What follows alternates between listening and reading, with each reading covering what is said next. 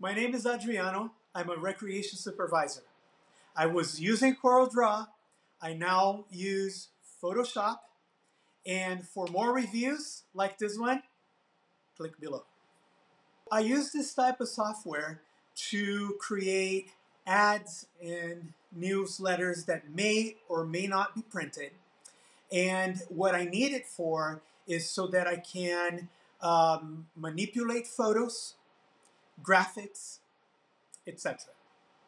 I find that Adobe Photoshop is really the best for photo manipulation. CorelDRAW is a very strong software, and I, I think it's really um, best if your project is something that will go into publishing and it's actually going to be printed. Both products have a learning curve.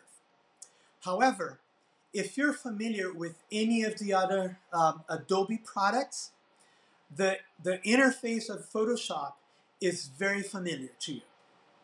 There are a couple of important considerations you want to make when you're considering either software. I would say, for instance, if you need other supporting software so that you can uh, execute your project, Adobe may be the best choice for you. However, with CorelDRAW, you have uh, a great technical support behind that product.